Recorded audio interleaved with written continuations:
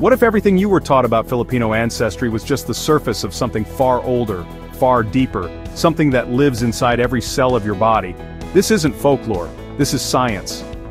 The genetic story of the Filipino people is being unraveled strand by strand and what scientists are discovering is shaking the foundations of Southeast Asian history. The truth is the islands of the Philippines hold some of the most ancient and diverse human DNA on the planet. From mysterious hominins to the world's first ocean navigators, the Filipino story stretches across continents, across millennia. And today, we dive headfirst into it. The Philippines is often described as a tropical paradise, a cluster of over 7,000 islands blessed with sun, sea, and sand. But beneath that idyllic surface lies a geological and genetic goldmine, these islands weren't just stopovers in history, they were destinations, they were homes.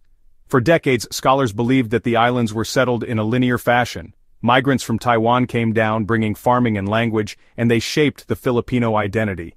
But recent genetic research proves otherwise. The Philippines is not just a melting pot, it's an ancient crucible, where waves of human migrations collided, mixed, and evolved independently.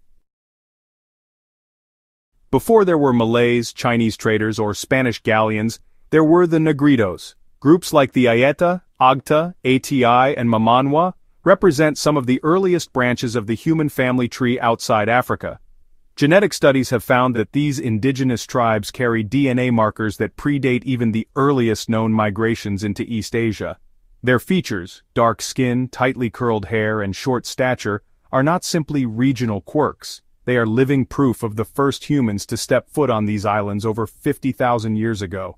These groups are not just culturally distinct, genetically they are among the most unique populations on Earth. In 2019, an astonishing discovery in Callao Cave, Luzon, rocked the global scientific community. The remains of a previously unknown human species. Named Homo luzonensis, this ancient hominin lived on the islands more than 67,000 years ago. Although we haven't yet extracted DNA from Homo luzonensis, the shape of their bones suggests a blend of primitive and modern traits.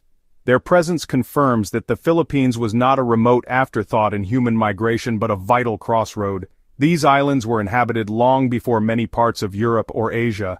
Every fossil unearthed here whispers of a forgotten era.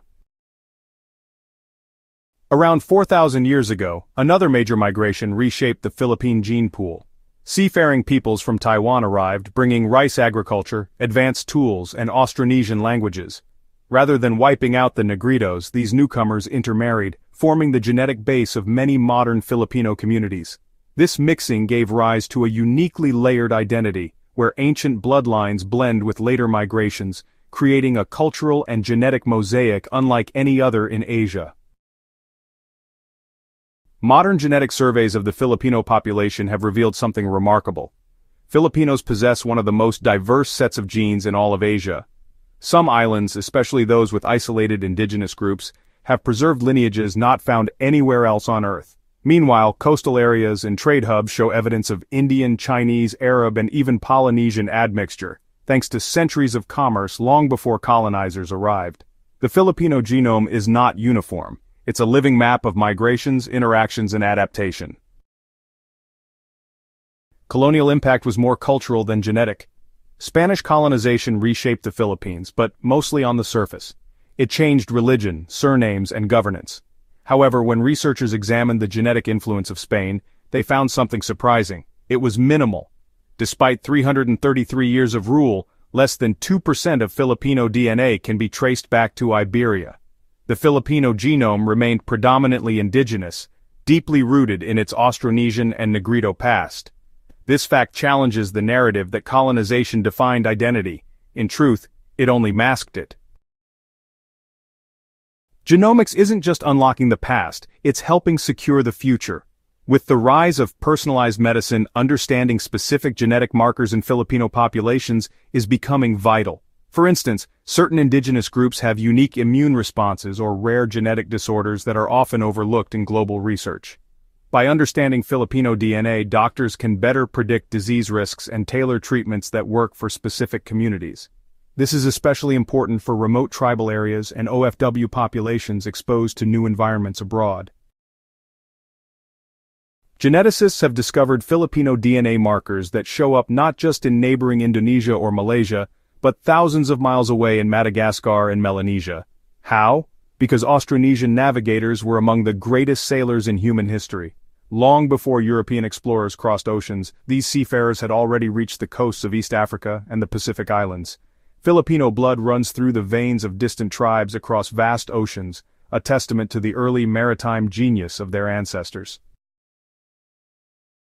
So what does all of this mean for what it means to be Filipino? It means that Filipino identity is not the product of colonization, it's the inheritance of tens of thousands of years of migration, survival, and adaptation.